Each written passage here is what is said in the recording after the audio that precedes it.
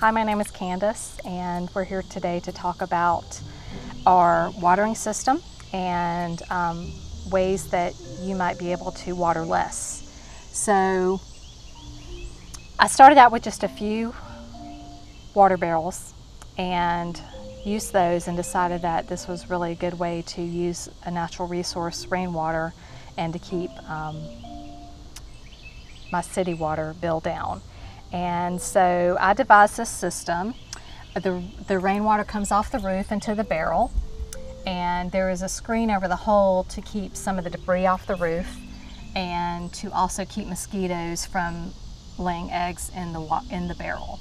And from this barrel, the water overflows into the second one and, and, then into the third one, and finally there's a, there is an overflow on the last barrel. The first time I set this system up, I decided I might try to use gravity to water the, the raised beds, but I don't have enough gravity to push the water hard enough and into the beds and to flow out like I wanted it to. So I did a lot of research on pumps and I finally found what is called a transfer pump and that's what I use to actually pull the water out of the barrels into the raised beds. So the way the pump works is um, there is an inlet and an outlet on the pump the um, inlet side comes, uh, comes from the rain barrel. And because the end of the hose will not connect to the spout, we actually bought an adapter that allows it to connect directly to the spout. So what happens is the water comes out of the rain barrel and it feeds into the transfer pump. And then it feeds out into the hose, which is going to the raised bed.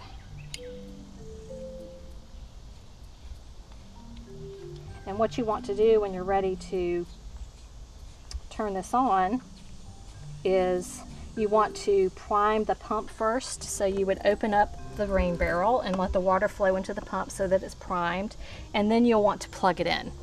You don't want to do the opposite because you don't want to burn your pump out.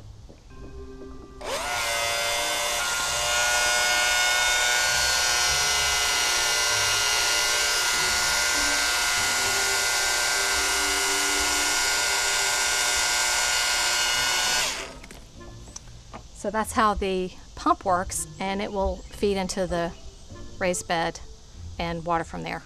You know, the watering system is great, but what you really want to do is do most of your work um, ahead of time. And so one of the ways you really want to retain water so you're not always having to water. I don't want to be out in 100 degree weather watering my garden. So Things that you can do to set up your garden for success at the beginning of the season is first of all to have good soil, good healthy soil.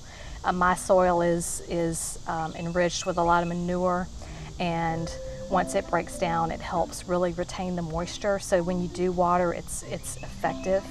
Another thing that I do every year, which takes intensive planning where you really load the beds up with plants, and uh, they actually help shade each other from um, evaporation.